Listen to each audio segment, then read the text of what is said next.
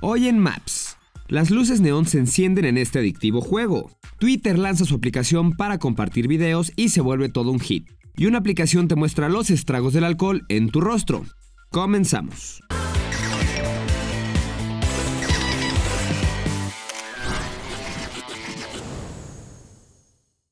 Prepara tus dedos para un juego lleno de luz llamado Neon Blitz. Se trata de la nueva versión de su exitoso predecesor Neon Mania.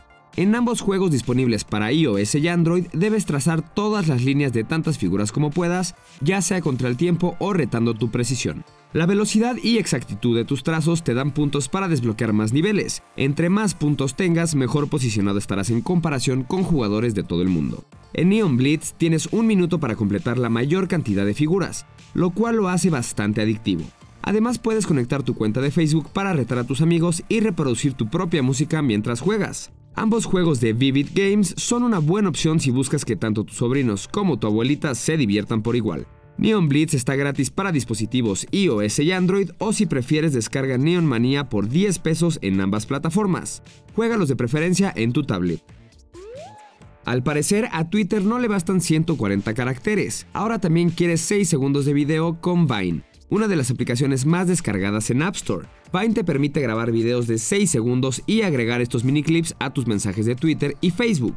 El éxito de Vine tal vez se debe a que tiene una gran variedad de usos. Hay quienes lo utilizan para difundir noticias, mostrar ricas recetas y hasta para presumir las mejores gracias de sus gatitos. Algunos usuarios incluso aprovecharon la aplicación para exhibir contenido pornográfico express. Aunque Twitter ya tiene esta delicada situación bajo control, pues ha bloqueado los videos triple X de su nueva aplicación. Vine ha sido comparada con Cinemagram, una aplicación similar que a pesar de tener más funcionalidades, no ha podido lograr la popularidad que el nuevo jueguito de Twitter ha conseguido en tan solo unos días. Vine está gratis y disponible únicamente para iPhone, iPad y iPod Touch, aunque se contempla que próximamente salga para otras plataformas como Android.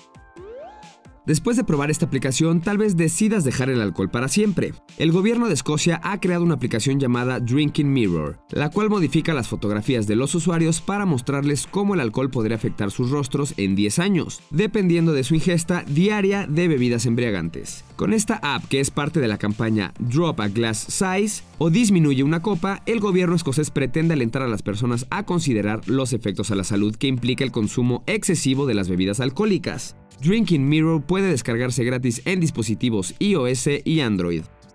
Nos vemos la próxima semana.